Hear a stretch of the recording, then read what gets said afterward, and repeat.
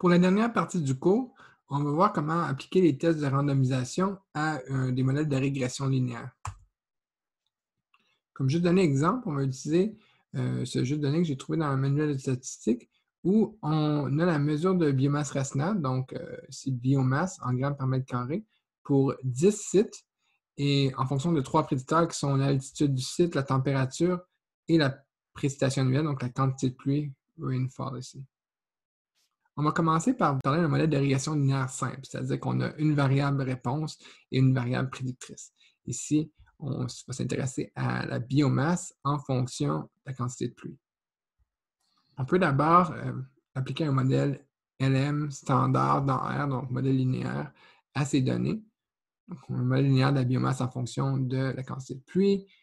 Et si on fait le sommaire de ce modèle, on voit que pour le coefficient, par exemple, de rainfall, ça nous dit que pour chaque mètre additionnel de pluie, euh, la biomasse, le modèle prédit qu'elle va augmenter de 144 grammes par mètre carré. Et euh, selon les suppositions de la régression linéaire où les résidus sont normalement distribués, etc., on arrive à un test qui nous donne une valeur P significative, donc de 0.034 pour euh, l'hypothèse nulle, selon laquelle ce quotient n'aurait aucun effet. Donc, le quotient a un effet significatif. Si on veut répéter cette analyse, mais avec une permutation, dans ce cas-là, l'hypothèse nulle, encore une fois, c'est qu'il n'y a aucun effet de la quantité de pluie sur la biomasse. Ce qu'on fait, c'est que, un peu comme le, comme le cas d'une réponse catégorielle, dans le cas où c'était des groupes, euh, des traitements, on va permuter les valeurs du prédicteur. Donc, on va permuter les valeurs de la quantité de pluie et pour chaque jeu de données permuté, on va calculer le, quotient de corrélation entre la quantité de pluie et la biomasse. Je tiens à noter que le, coefficient de, corrélation est directement relié au coefficient de régression qu'on a ici. Donc, le coefficient de régression est directement relié au coefficient de, corrélation entre les deux variables dans le cas d'une régression linéaire simple. Et le, le, facteur qui relie les deux ne change pas selon chaque permutation, donc on peut utiliser le coefficient de corrélation comme statistique pour notre test. Et comment on va faire ça ici? Euh, encore une fois, on définit un nombre de permutations. On crée une fonction qui va euh, d'abord créer une version permutée de notre variable explicative. Et on ne permute pas la variable réponse biomasse, donc on permute une ou l'autre en fait. Et ensuite, on calcule la corrélation entre la variable explicative permutée et la variable réponse originale. On répète un grand nombre de fois et ça nous donne la distribution de la corrélation selon l'hypothèse nulle où il n'y a aucun effet. Dans ce cas-ci, on peut utiliser la formule usuelle pour calculer euh, la valeur P. Et qu'est-ce qu'on obtient? C'est euh, une valeur P de 0.0388.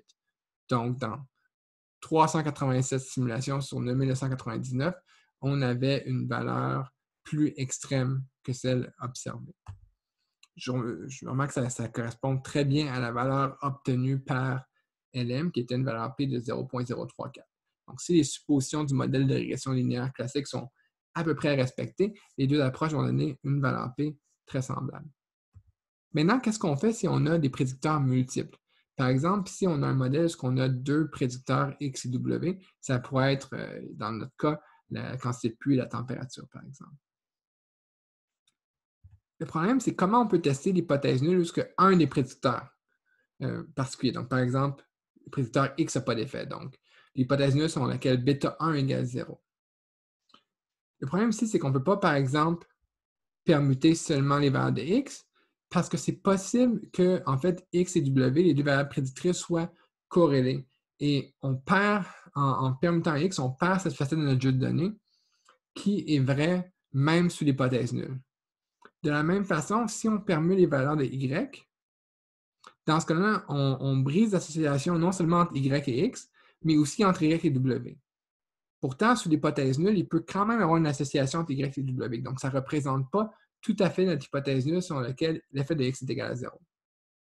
Une des méthodes pour résoudre ce problème, ça a été proposé par Friedman et Lane, et ça procède en deux étapes. D'abord, on estime les paramètres d'un modèle qui n'inclut pas la variable X. Donc, si on a un modèle où on a seulement l'effet de euh, W.